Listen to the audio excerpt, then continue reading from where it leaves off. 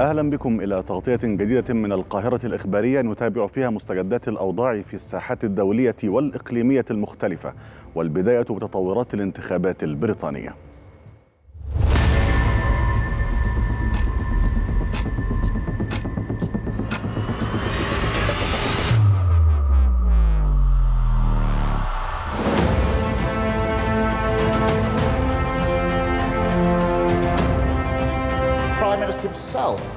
Was convicted and fined for breaking the rules. What do we want?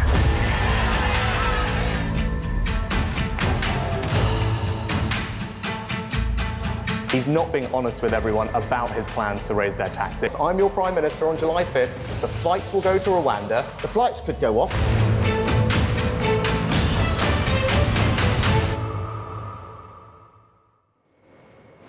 أظهرت نتائج غير رسمية فوز حزب العمال البريطاني في الانتخابات البرلمانية بأغلبية 410 مقاعد مقابل 131 مقعدا للمحافظين.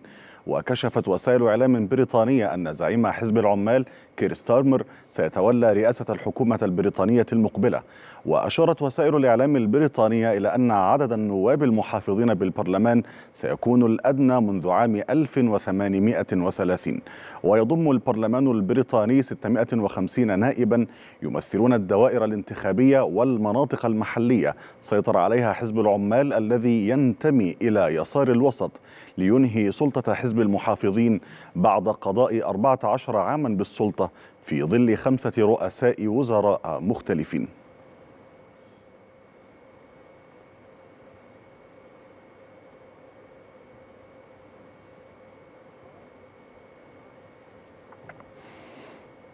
توجه البريطانيون إلى صناديق الاقتراع لانتخاب 650 نائبا في الانتخابات التشريعية مجلسي العموم ما يجعل بريطانيا على عتبة تحول سياسي كبير. ويواجه حزب المحافظين خطر إنهاء 14 عاما من حكمه في ظل تقدم حزب العمال في استطلاعات الرأي بفارق كبير.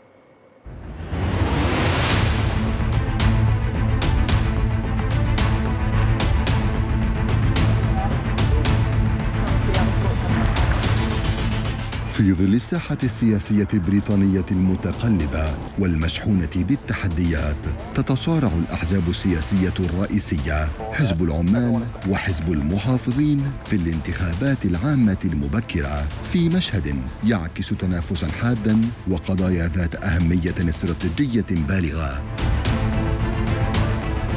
الخلافات في السياسات بين حزب العمال والمحافظين البريطانيين تعكس اختلافات أساسية في الرؤى السياسية والاقتصادية التي تؤثر على توجهات الحكومة وأولوياتها. فحزب العمال بزعامة كير ستارمر ينادي بزيادة الإنفاق الحكومي على الخدمات العامة مثل الصحة والتعليم والنقل العام حيث يؤيد سياسات توزيع الثروة بشكل أكثر عدالة وتخفيف الضغط على الطبقات الفقيرة والمتوسطة وفي المقابل يتبنى حزب المحافظين بقيادة رئيس الوزراء ريشي سوناك. سياسات تقشفية تهدف إلى تقليل الإنفاق الحكومي وتحفيز الاستثمار الخاص كوسيلة لتعزيز الاقتصاد حيث يركز على تقليل الدين العام وتحسين كفاءة الإدارة الحكومية من خلال خفض الإنفاق غير الضروري.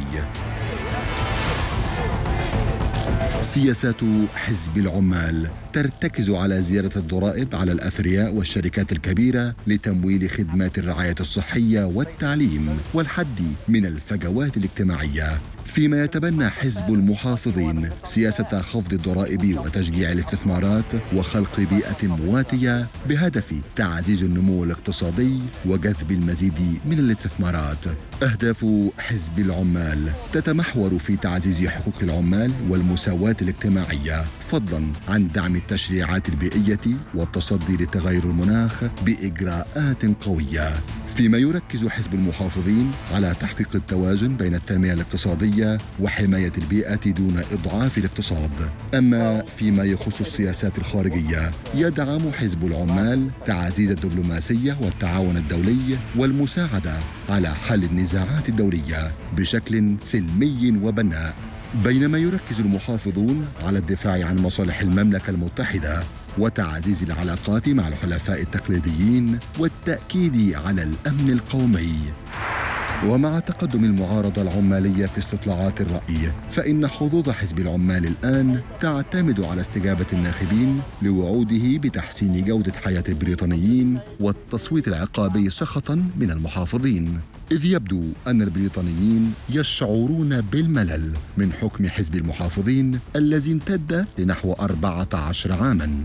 فسياسة التقشف وخروج بريطانيا من الاتحاد الأوروبي وخطة ترحيل اللاجئين إلى رواندا فضلا عن النزاعات الداخلية خلقوا أزمات للسياسة العامة للمملكة المتحدة.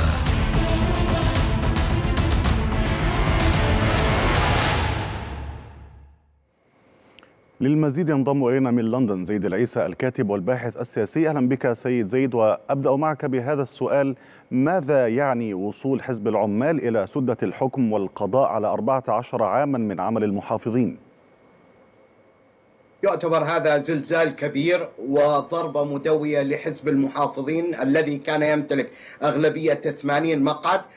نرى اليوم أن التاريخ يعاد صياغته ويعاد كتابته. أغلبية كبيرة جدا ما يسمى ويطلق عليه بأغلبية كبرى أكثر من 170 صوت. ما خسره المحافظون 241 صوت وما كسبه حزب العمال 209 أصوات. أي أنها عملية كما سميت. وكما أشارت استطلاعات الرأي حتى قبل الانتخاب حتى قبل انطلاق الانتخابات. ومع مرور فترة الحملة الانتخابية من ست أسابيع بقيت استطلاعات الرأي لم تتزحزح. ورأينا اعتراف من وزيرين من الكابينة الوزارية قبل ليلة من الذهاب إلى التصويت وهم وزير النقل القريب جدا من رشي سونك وكذلك وزير شؤون لندا الشمالية بأن بأن استطلاعات الرأي تبدو صحيحة ونحن مقبلين على أغلبية كبرى لحزب حزب العمال ويجب التركيز على المعارضة. أي أن الاستراتيجيه اليائسة التي اتبعت في النهاية من قبل رشي سونك ومن قبل أعضاء كابينته كان تركيز تحفيز الناخبين على الخروج والتصويت لهم حتى تكون هناك معارضة ذات مصداقيه وما نراه اليوم هي معارضة تتكون من 131 صوت والخسارة الكبرى التي سوف تتبعها هي خسارة أسماء كبرى لامعة قد تكون هي المؤهلة لقيادة حزب المحافظين. ولحد الآن هناك خوف كبير على جراند شابس وزير الدفاع حتى على جيريمي هانت.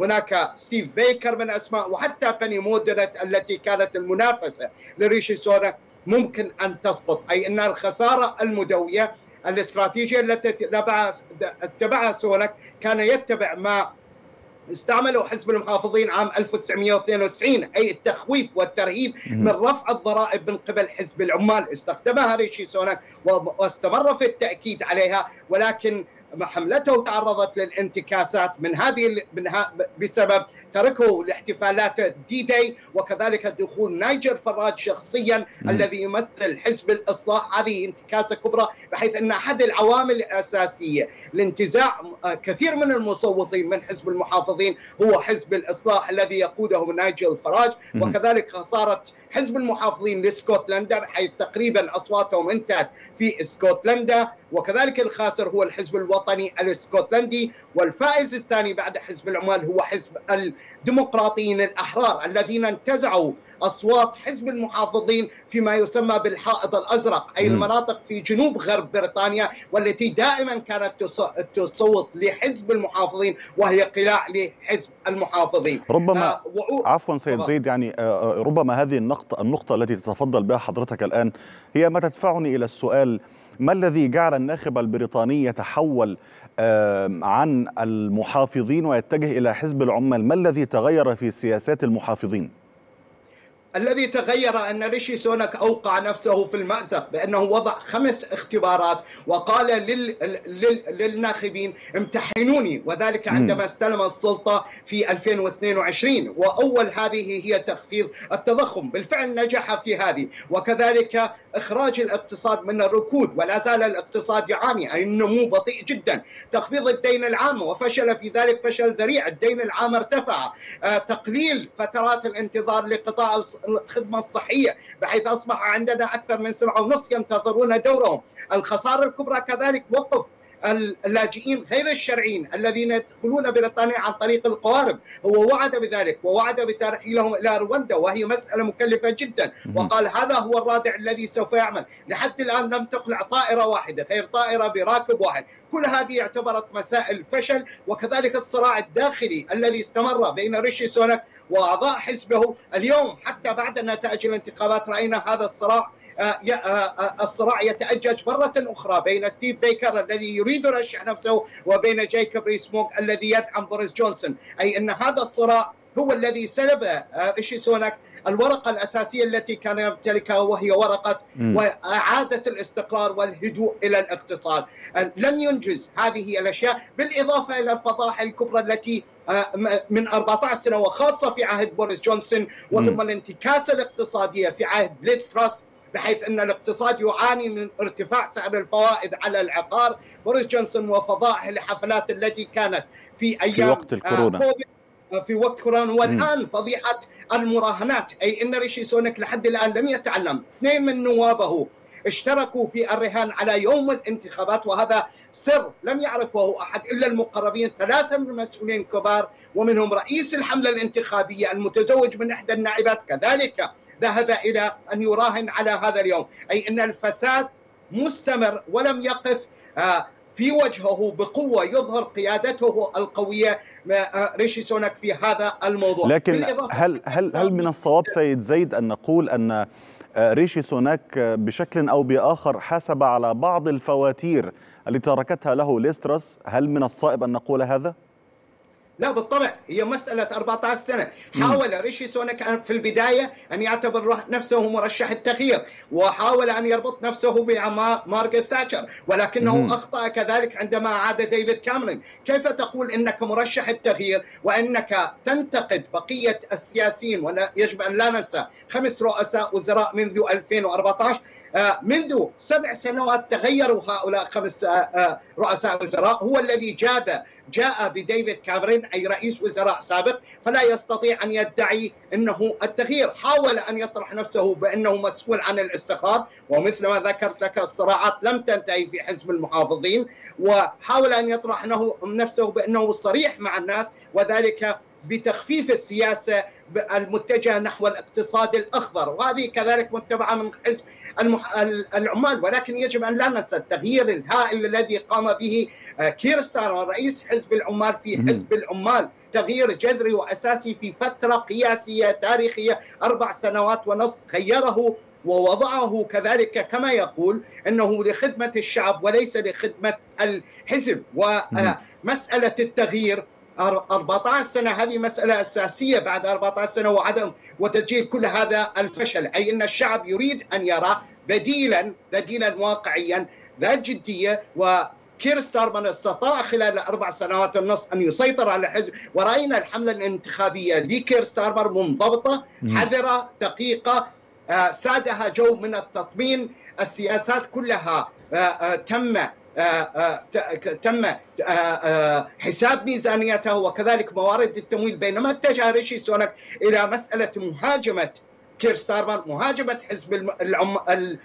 متهما بزيادة الضرائب وهو اتجه إلى خفض الضرائب. وهنا وهنا اتهم هو بأنه يقوم بخفض الضرائب بدون أن يقدم دليلا أو يقدم من أين يأتي هذا التمويل أي أنها عملية محاسبة دقيقة لريشي سوناك ل 14 سنة وقد ذكرت في المناظرات كذلك شراسة ريشي سوناك في الهجوم على كير ستارمر لأنه كان يعرف مسبقا بأنه خطأ فظيع ما قام به وهو استعجل الانتخابات مم. وأسباب استعجاله للانتخابات حيث هل كان رهانا؟ كلها تتوقع رهانا خاطئا وقاتلا لأنه م. كانت كل كل التوقعات تقول إنه سوف يذهب في فصل الخريف. وهذه من من 1945 أول مرة نجد الذهاب إلى انتخابات في فصل جولاي. هو استعجل لأن النتائج الاقتصادية غير مضمونة فكان يتوقع أنه ما انجزوا من ناحية التضخم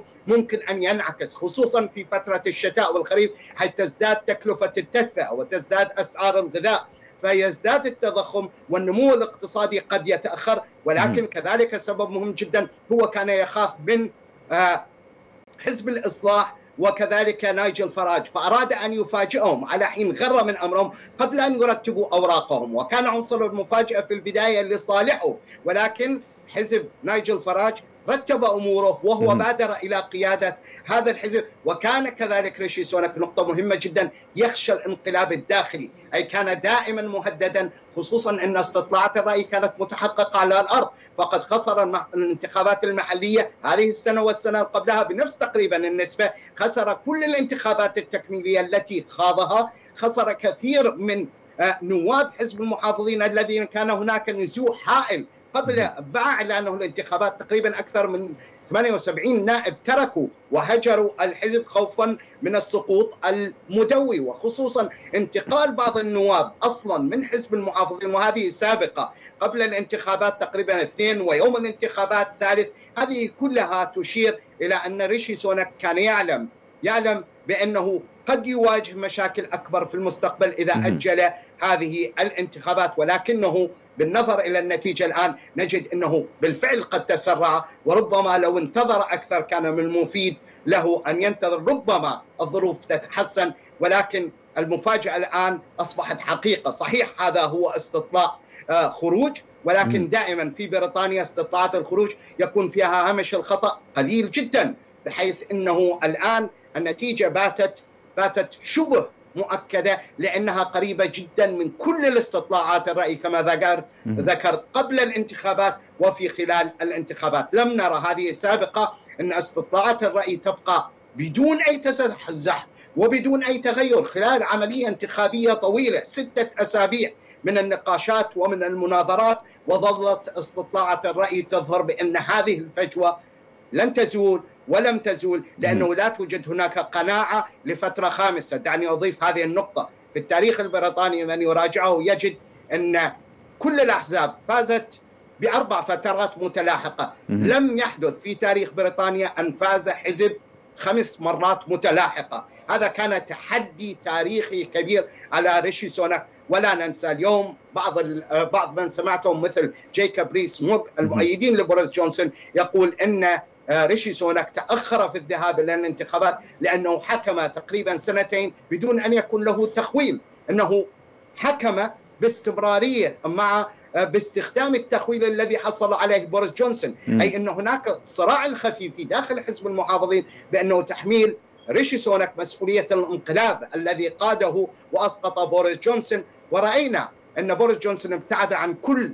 عملية الحملة الانتخابية وعندما يأس حزب المحافظين كان في آخر ليلة ظهر بوريس جونسون ليحفز الجماهير ويقول لهم عليكم بتجنب آه، الانتصار الكاسح أو الأغلبية التي تسمى السوبر ماجوريتي أي الأغلبية العظمى لأن أي عملية ديمقراطية سوف تفقد الم- المصداقية مع فقدان وجود آه، معارضة قوية فاعلة. وهذا بالفعل ما نراه اليوم. المعارضة ضعيفة مهشمة مع وجود أغلبية من 170 آه، نائب. إذا مم. تحققت النتيجة وهذا احتمال كبير جدا. نعم. وربما يعني في في ذات السياق آه، سيد زيد يعني آه، لو نعود إلى التاريخ يعني منذ تأسيس حزب العمال في عام آه، 1900 تقريبا بزعامة كير هاردي الآن نجد عودة لذات الاسم مرة أخرى هو السير كير ستارمر.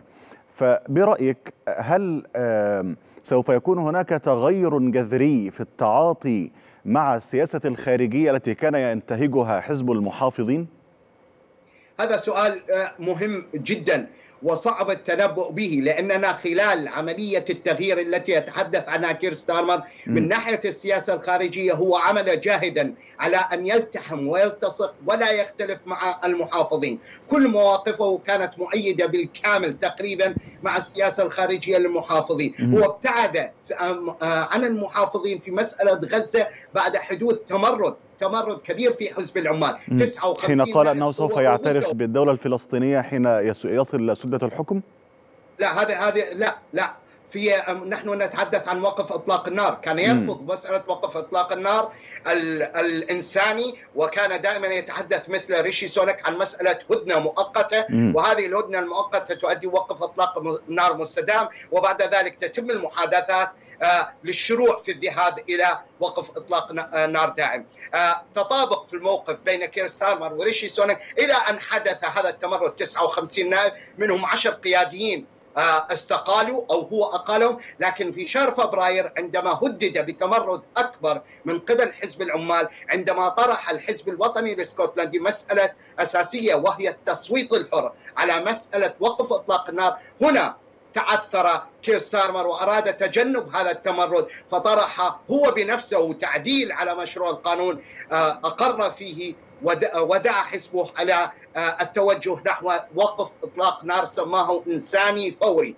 وكانت هي هذه النقطة الخلافية التي حدث الاختلاف الذي حدث بينه وبين ريشي آه، ريشي سوناك في شهر فبراير. بينما من ناحية السياسة الخارجية في اليوكرين والحرب مع روسيا. هو موقفه لحد الآن مطابق تقريبا مع مع آه، موقف ريشي سوناك. وأستطيع أن أقول لك هناك نقطة مهمة يجب أن ننتبه لها. إن توني بلير عندما فاز ضد المحافظين آه، لم يختلف توجهه عن توجه المحافظين بل. هو كان من أشد المؤيدين ووقف مع أمريكا في مسألة غزو العراق واجتياح العراق بل إنه هو كان الحليف الوحيد الذي بقى مع بوش وانتقد وانتقد خلالها وكان هناك تحقيق انتقده لوقوفه مع آه، بوش. ولكن لحد الآن ممكن أن تتغير طريقة طرح السياسات أو طريقة تقديمها طريقة الصياغة دعنا نقول مثلا؟ ال- التقديم آه، طريقة التغليف. كيف تغلف طريقة التعامل. آه، ربما نجد أكثر ليونة ولكن جذريا أنا في اعتقادي أنه من الصعب في هذه المرحلة من الصعب أن يكون هناك تغير أساسي وجوهري وابتعاد عن السياسة الأمريكية في المواضيع الأساسية والمهمة وكيفية التعامل مع الحرب الروسية اليوكرانية مم. وكذلك مع الحرب في غزة لا أرى أن هناك تبدلا سريعا بل ربما هناك فقط مظاهر وتغليف فقط جديد. وتعبئه جديد ولكن الجوهر سوف يبقى تقريبا نفسه هذا إلى أن تتمكن ال- الحكومة من الوقوف على أقدامها. والتعامل مع المسألة الأساسية وهي المسألة الاقتصادية. نعم المسألة التحدي الأكبر هو التحدي الاقتصادي لأن آه، المؤسسات المالية المستقلة هنا تقول أي حكومة تستلم سوف تواجه صعوبات وتحديات مالية لأن الدين العام هائل الطلبات آه، والخدمات العامة تقريبا منهارة مثل قطاع الصحة العامة يحتاج إلى بناء سريع آه، يحتاج المواطنين إلى آه، أن يروا مصداقية لطروحات كير ستارمر وأعتقد إن المسألة الداخلية والمسائل الداخلية الجوهرية الاقتصادية سوف تأخذ حيزا كبيرا من. طروحات كير ستارمر. نعم ربما أيضا يعني تحدث بعض المغردين يعني حين تمت آه، تداول هذه الأخبار عن الفوز المحتمل شبه الوشيك للعمال. آه، تحدث بعض المغردين عن آه، استدعاء قصير للذاكرة في عام 2014 آه، حين كان هناك حديث عن دعوة للاستفتاء لاستقلال اسكتلندا. ونحن نعلم جميعا أن من ضمن الأحزاب الفاعلة في الانتخابات الحالية كان حزب العمال الاسكتلندي بالإضافة للويلزي أيضا.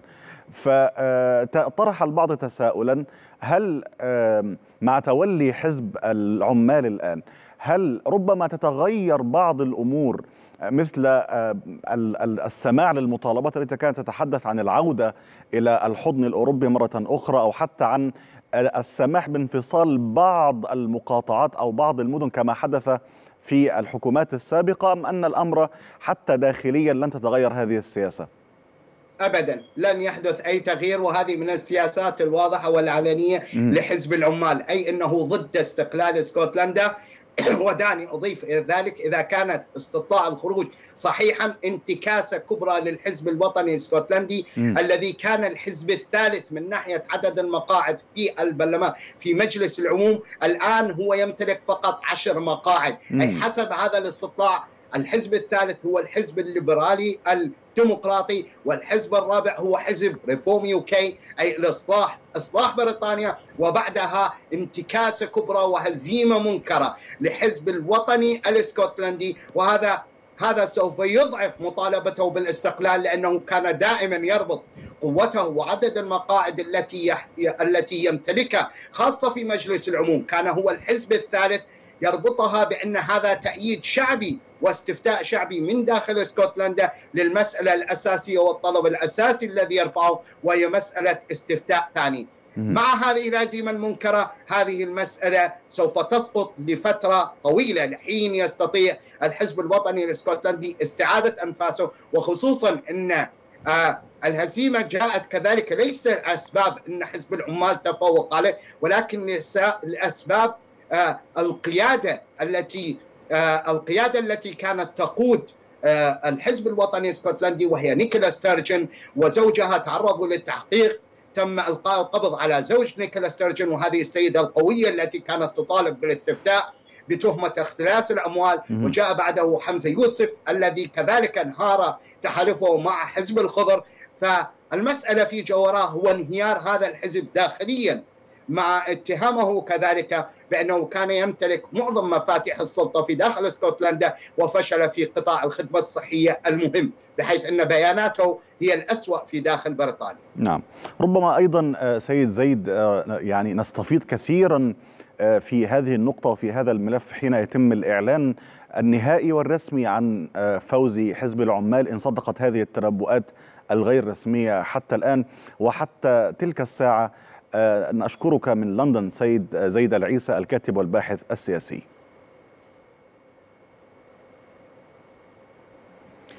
والآن مع تطورات العدوان الإسرائيلي على قطاع غزة.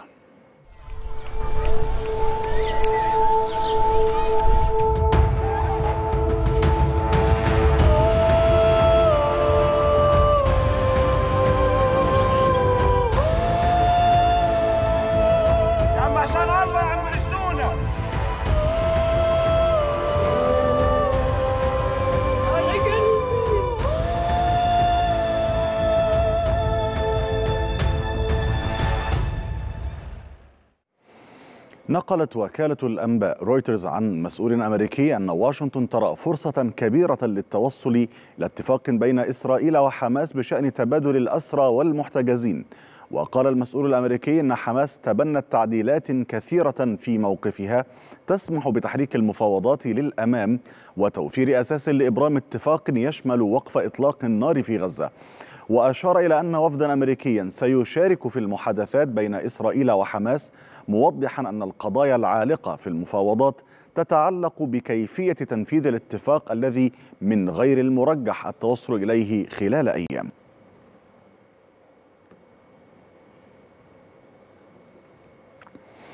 أبلغ رئيس الوزراء الإسرائيلي بنيامين نتنياهو الرئيس الأمريكي جو بايدن أنه قرر إرسال وفد لمواصلة المفاوضات بشأن صفقة لتبادل الأسرى والمحتجزين في قطاع غزة.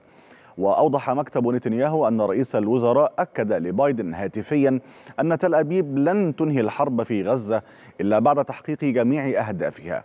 من جهتها ذكرت وسائل إعلام إسرائيلية أن رئيس الموساد سيقود وفد المحادثات مشيرة إلى أنه من الممكن التوصل إلى اتفاق للتبادل فيما بين أسبوعين وثلاثة أسابيع.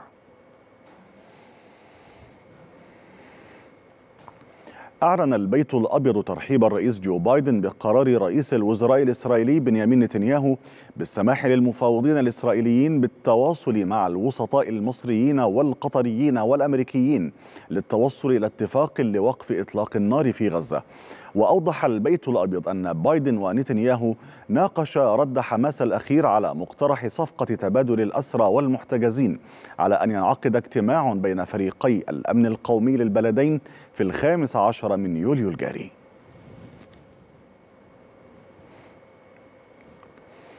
نقل موقع أكسيوس عن مسؤولين أمريكيين أنهم يريدون الاستفادة من رد حماس الإيجابي على المقترح الأخير لسد الفجوات والتوصل إلى اتفاق لتبادل الأسرى والمحتجزين في غزة. واعتبر المسؤولون الأمريكيون أن رد حماس يمثل تقدما كبيرا ويفتح الباب أمام مفاوضات أكثر تفصيلا يمكن أن تؤدي إلى اتفاق. وهو ما سيكون إنجازا كبيرا للإدارة الأمريكية في ظل الانتقادات التي طالت الرئيس جو بايدن بعد مناظرته مع منافسه في انتخابات الرئاسة المقبلة دونالد ترامب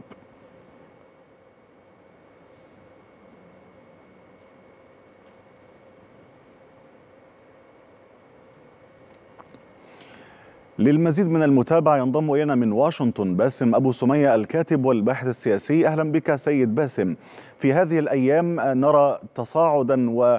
وتداولا كبيرا في داخل الأروقة الأمريكية عن الضغط من أجل التوصل إلى هدنة وصفقة لتبادل المحتجزين لكن بوتيرة أسرع وأكبر من جميع الأيام الماضية. فكيف تقرأ هذا الأمر سيد باسم؟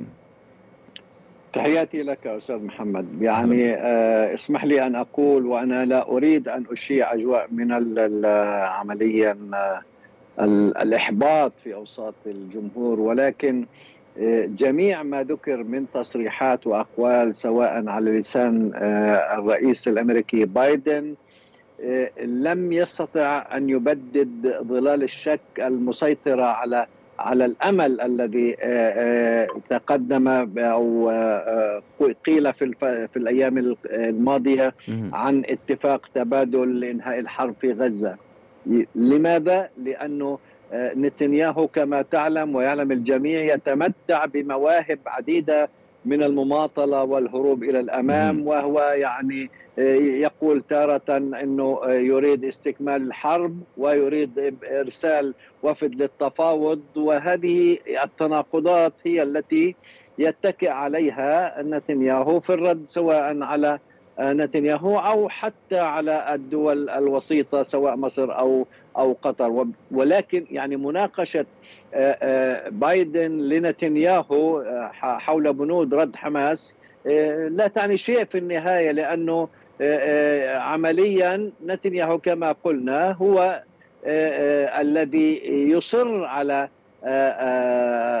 المماطلة. أعتقد إنه من يريد أن يحل هذه المشكلة لا يصادق على مصادرة 13 كيلو متر مربع من مساحة الأراضي في منطقة على الحدود مع بين فلسطين والأردن وهي م. التي تعتبر السلة الغذائية التي هناك مليئة بالمستوطنات والتي يعني تعتبر السد الفاصل بين إسرائيل والأردن. هذه المسألة إضافة إلى أن هناك كان تحالف إعلان عن تحالف الجناح اليميني المعارض الذي يقوده اليهودي الروسي افيغدار ليبرمان مع ائتلاف اليميني بنغفير وسومتريش لتمرير مشروع يعني قرار يعارض بشدة فكرة قيام الدولة قيام دولة فلسطينية بدعوى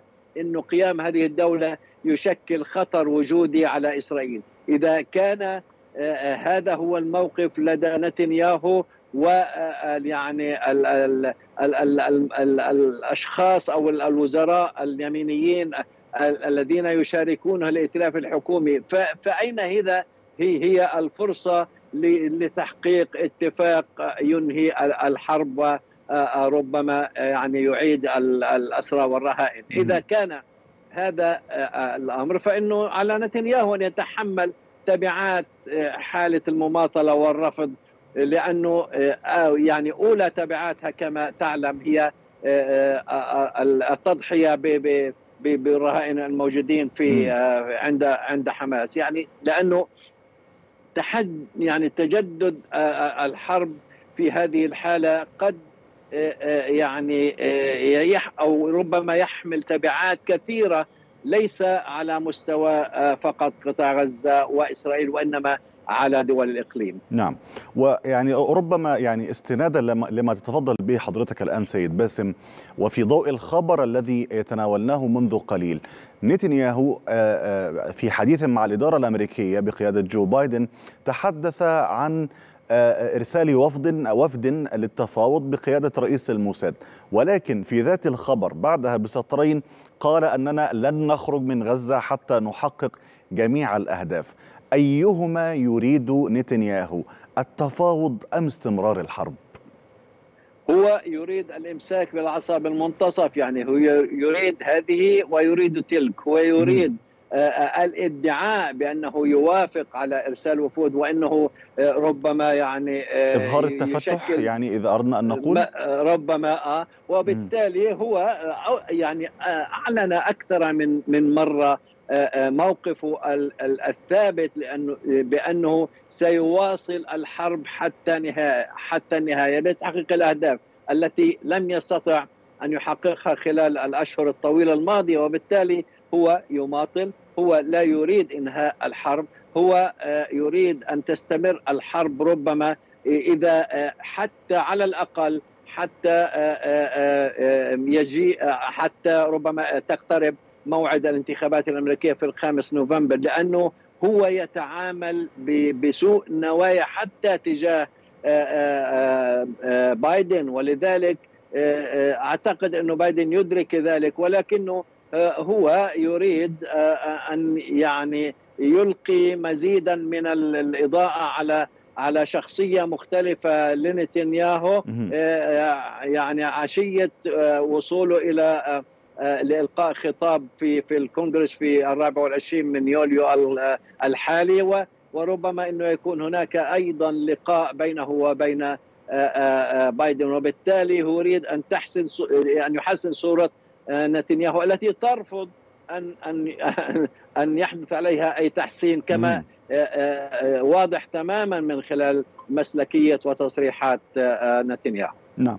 وربما يعني من باب الأولوية سيد باسم قبل أن يعني نتحدث عن هدنة أو عن إطلاق لسراح المحتجزين أو غير ذلك ابتداء هل تم تداول أو تمت مناقشة اليوم التالي للحرب التي هي أساس حل وقف إطلاق النار والانسحاب من قطاع غزة؟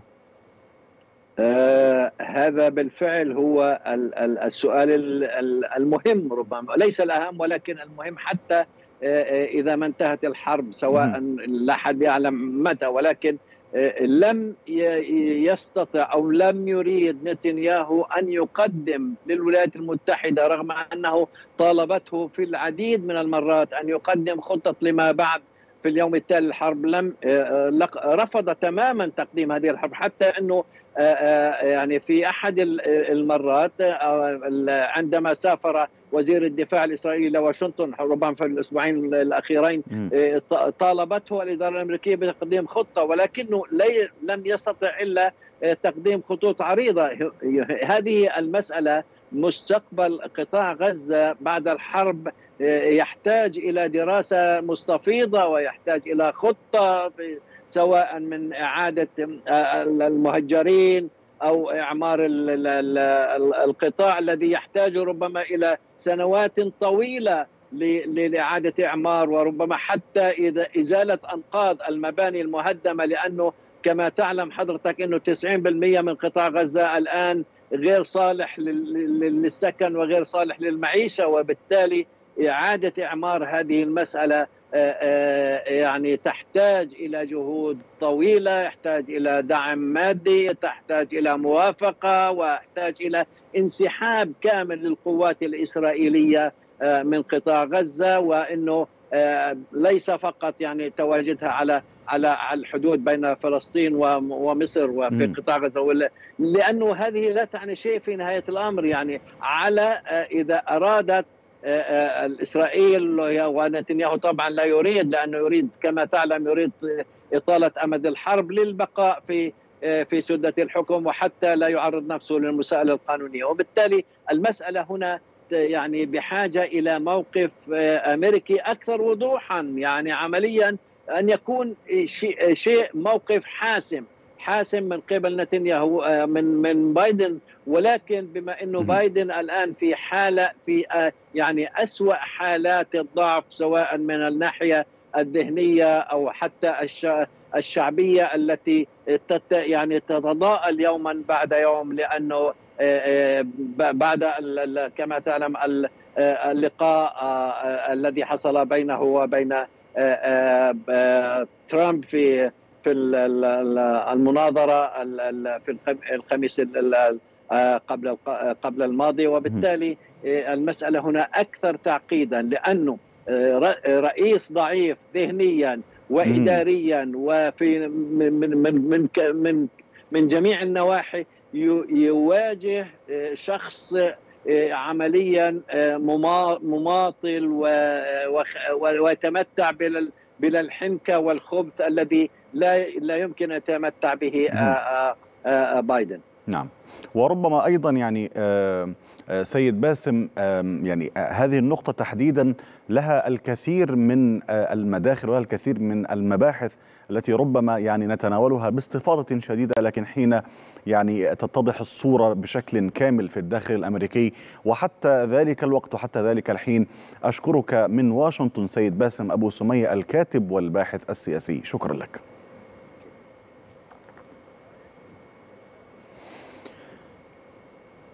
قال وزير الدفاع الإسرائيلي يوآف جالنت إن تل أبيب صارت أقرب من أي وقت مضى من التوصل إلى اتفاق لتبادل الأسرى والمحتجزين مع حركة حماس. ووصفت وسائل إعلام إسرائيلية تصريحات جالنت بأنها لم تصدر من من قبل عن مسؤول إسرائيلي ما يشير إلى تغيير في عقلية بعض المسؤولين.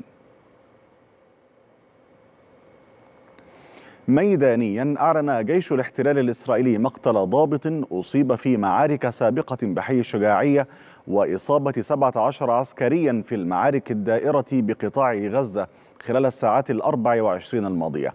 وأشار جيش الاحتلال إلى, إلى ارتفاع عدد الضحايا منذ بدء الحرب على غزة إلى 4066 عسكريا من بينهم 2069 أصيبوا خلال العملية البرية. سقط عدد من جنود الاحتلال الإسرائيلي بين قتيل وجريح في كمين محكم أعدته فصائل فلسطينية لقوة إسرائيلية واشتبكت معها وأوقعت أفرادها في حي الشجاعية بمدينة غزة. وأشارت الفصائل الفلسطينية إلى أنها رصدت هبوط الطيران المروحي الإسرائيلي لإجلاء القتلى والجرحى الإسرائيليين لافتة إلى استدراج قوة إسرائيلية في حي تل السلطان غرب مدينة رفح الفلسطينية جنوب القطاع وإيقاع أفرادها جميعا قتلى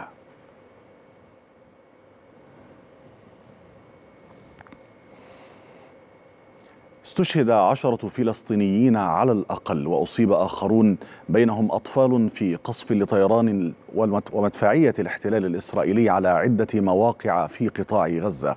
وتواصل قوات الاحتلال قصفها على كثير من المناطق في القطاع ما يتسبب في استشهاد وإصابة أعداد كبيرة من الفلسطينيين.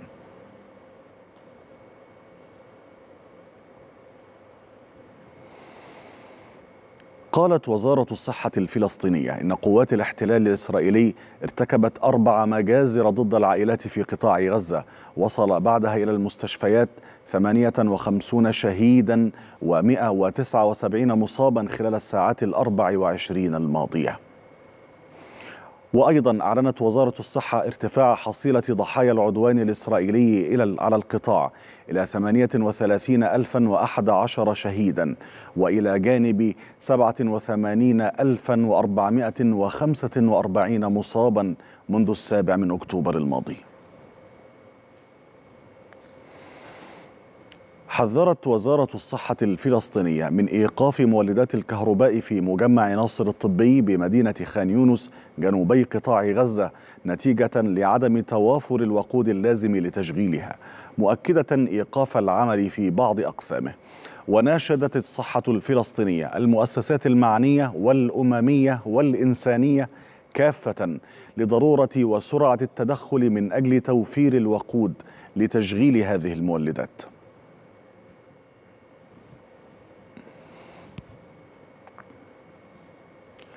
للمزيد من المتابعة ينضم إلينا من القاهرة الدكتور صلاح عبد العاطي رئيس الهيئة الدولية لدعم الشعب الفلسطيني. أهلا بك دكتور صلاح.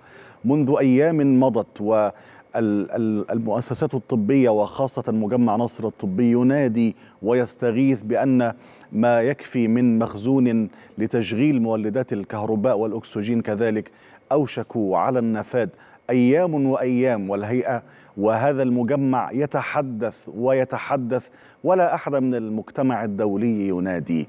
ونحن جميعا نعلم وأنت تعلم بشكل مستفيض دكتور صلاح أن ما هو المصير المحتوم للمصابين والمعالجين داخل هذا المجمع الطبي إذا ما تم استنفاذ الكهرباء والأكسجين؟ ما الذي يفترض على الفلسطينيين عزلا مواطنين أو حتى مصابين في هذه المستشفى أو في غيرها؟ ما الذي يفترض بهم عمله؟ في ظل هذا الصمت الدولي. بداية صباح الخير أخي محمد ولجمهور المشاهدين. والسلام والرحمة لأرواح الشهداء والشفاء العاجل للجرحى والحرية للأسرى. وسلام إلى أهلنا في داخل قطاع غزة الذين يتعرضون لجريمة الإبادة الجماعية المستمرة والمتواصلة للشهر العاشر الآن. نقترب من الشهر العاشر ولليوم ال 272 على التوالي. ونعم كما ذكرت على ما يبدو أن هناك اعتياد لدى المجتمع الدولي على المشهد وخذلان إنساني غير مسبوق لترك الفلسطينيين لمواجهة مصيرهم في جريمة الإبادة الجماعية على يد أعتى فاشية صهيونية في التاريخ الإنساني. تمارس ما تشاء من قتل وتدمير ومجازر وارتهاب دولي منظم وعنصرية غير عابئة بكل قرارات الأمم المتحدة ومجلس الأمن وتدابير محكمة العدل الدولية وكل النداءات الدولية وحتى أنها كما ذكرت تمنع الحد الأدنى من مستلزمات الطبية والوقود اللازم لتشغيل مولدات المشافي التي بقت تعمل في داخل قطاع غزة وهي مستشفيين من أصل 36 مستشفى بعد ان اخرجت 34 مستشفى عن الخدمة وآخرها مستشفى غزة الأوروبي الذي تعرضت المنطقة إلى طلبات إخلاء وأجبر العاملين في المستشفى على إخلاء هذا المستشفى ونقل بعض المعدات إلى مستشفى ناصر الطبي. وفي ظل كثافة النازحين في مدينة خان يونس ومخيم خان يونس بات هذا المستشفى يحتاج إلى يعني دعم بكل ما يلزم ضمان تشغيله لضمان معالجة الجرحى والمرضى الذين بات جزء منهم يتوفى جراء نقص المعدات الطبية ونقص الأجهزة الطبية والمستلزمات الطبية ونقص الكادر الطبي والضغط الكبير على الخدمات الطبية. وهذا الأمر يعني بات معلوما لدى جميع الجهات الدولية وعلى رأسها منظمة الصحة العالمية. دولة الاحتلال لا تزال تستخدم سلاح التجويع وسلاح التعطيش وسلاح أيضا المنع من كل مستلزمات الحياة للقطاعات المختلفة وعلى رأسها القطاع الطبي الذي تستمر في تدميره وقتل العاملين فيه وعدا عن أيضا منع دخول الإرساليات الدوائية إليه. وهذا ينذر بوفاة أعداد كبيرة من المرضى والجرحى. ولا ننسى أن هناك أكثر من 20 ألف مصاب يحتاجون إلى خدمات طبية هي غير متحققة في قطاع غزة ويحتاجون إلى السفر وأكثر من 10 آلاف مريض بالسرطان. وأكثر من 350 ألف مواطن باتوا يحتاجون إلى علاج طبي من أصحاب الأمراض المزمنة عدا عن الأمراض التي اجتاحت السكان النازحين جراء المجاعة وجراء أيضا الأوبئة التي انتشرت كالإسهال والهيباتيتس والكوليرا الآن التي تحقق مخاطرها بحياة أطفال قطاع غزة م. لذلك من المهمية بمكان الاستجابة إلى نداء وزارة الصحة وإلى القطاعات الطبية المختلفة العاملة ولا تزال في قطاع غزة سواء كنقاط طبية أو عيادات أو حتى أماكن لعلاج الجرحى والمرضى وقد رصدنا وفاة العشرات من المواطنين جراء. النقص في العلاج وخاصة الأعداد الكبيرة من المصابين الذي منعت قوات الاحتلال إجلائهم أو التي أيضا تكدست أعدادهم لدى النقاط الطبية في المستشفى المعمداني ومستشفى ناصر لكن حتى المستشفيات لكن دكتور صلاح يعني إذا سمحت لي يعني هؤلاء الذين نتحدث عنهم نحن لا نتحدث عن أحد من من فصائل المقاومة نحن لا نتحدث عن عسكريين يحملون السلاح. هؤلاء مدنيون عزل يعني كانوا قبل الحرب كل ما يسعهم في حياتهم أنهم كانوا يعني يسعون إلى لقمة عيشهم. وبعد الحرب أصبحوا مستهدفين ويقتلون ويبادون. ما الذنب الذي اقترفه الشعب الفلسطيني أو المواطن الفلسطيني البسيط حتى ينكل به بهذه الوحشية من قبل آلة الحرب الإسرائيلية؟ وحتى أخي محمد لو كانوا عسكريين وأصيبوا هناك التزام على عاتق الأطراف المتصارعة بعلاج الجرحى بما في ذلك دولة الاحتلال عليها التزام أن تعالجهم.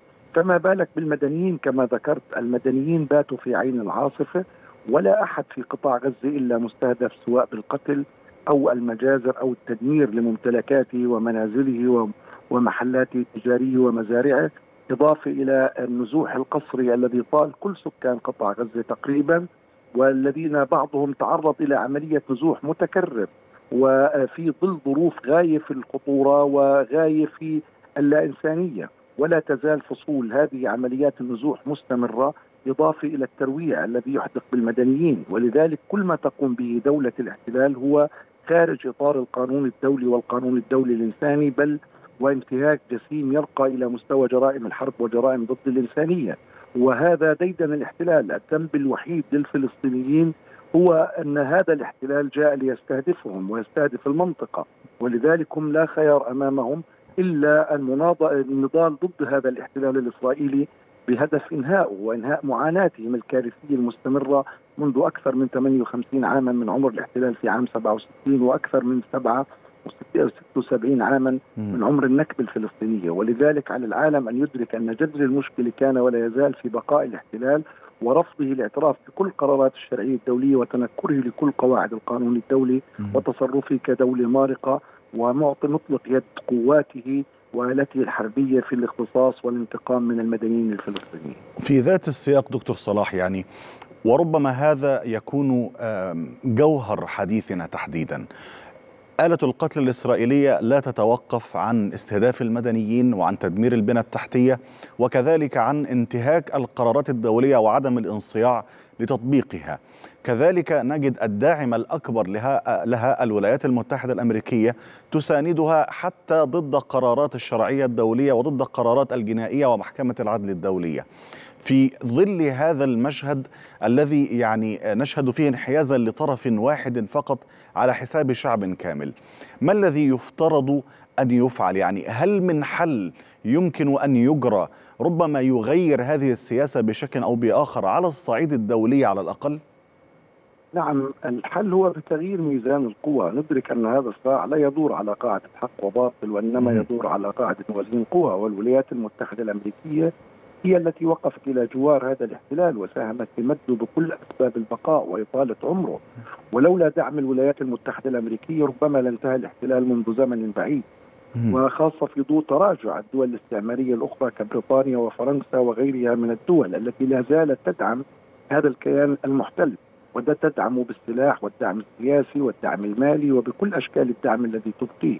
ولذلك لا خيار أمام الفلسطينيين في إطار الحفاظ على حقوقهم الوطنية والحفاظ على القضية الفلسطينية إلا استمرار نضالهم العادل في مواجهة الاحتلال. وهم جربوا كل أشكال النضال ولكن بحكم موازين القوى المختلة وحالة الانقسام السياسي والضعف العربي وتراجع منظومة العمل الدولي لا زال الفلسطينيون يدفعون ثمن هذا الاحتلال وهذه البلطجة وشريعة الغاب الأمريكية الإسرائيلية. وهذه الشراكة في جرائم الإبادة الجماعية أوضح مثال على هذا الانحياز السافر وهذه الشراكة الإجرامية في جرائم الحرب ضد الفلسطينيين وجرائم العدوان وجرائم الإبادة الجماعية التي يتعرض لها الفلسطينيين ولا زالوا. ولكن عزاءنا أن الفلسطينيين يدركون أنهم يدفعون هذا الثمن وإن كان ثمنا فادحا وغير مسبوق في التاريخ الإنساني إلا أنهم يدفعونه من أجل كرامتهم وحقوقهم الوطنية المطلوبة. ولكن هذا يستلزم لتقصير أمد العدوان هو تضافر كل الجهود سواء على المستوى الفلسطيني لترتيب البيت الداخلي الفلسطيني وأيضا ضمان تفاعل كافة التجمعات الفلسطينية كما ينبغي وفق مبدأ المسؤولية ووحدة الدم والمصير المشترك. وتفاعل كل أحرار أمتنا العربية والعالم دولا وشعوبا ومؤسسات من أجل دعم نضال الشعب الفلسطيني في مواجهة الاحتلال وضمان وقف هذا العدوان وتدفق المساعدات الإنسانية. نعم وربما دكتور صلاح يعني هذا الكلام وهذه المحاور التي نتحدث فيها مع حضرتك لن ينتهي الحديث عنها حتى تنتهي معاناة الشعب الفلسطيني ويتوقف نزيف وسيلان هذا الدم البريء الذي لا ذنب له سوى أنه يتمسك بحقه وبأرضه وبعرضه. فحتى ذاك الحين وحتى تتوقف آلة الحرب الإسرائيلية عن كل انتهاكاتها بحق هذا الشعب الأعزل سوف نستمر بالحديث والنقاش مع حضرتك ومع كافة المختصين حتى ينال الشعب الفلسطيني هذا الحق الأصيل. من القاهرة الدكتور صلاح عبد العاطي رئيس الهيئة الدولية لدعم الشعب الفلسطيني. شكرا لك.